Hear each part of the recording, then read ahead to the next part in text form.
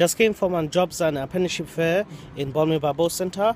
We went, uh, the event went really well. I got a lot of things uh, sorted out, like um, applied for ideas to volunteer and applied for uh, Power Legacy events for the Olympics and stuff. And um, the events when re- the job fair went really well. I, you know, um, persuaded every employer to, um, you know, at least hire me and stuff. So it went really well.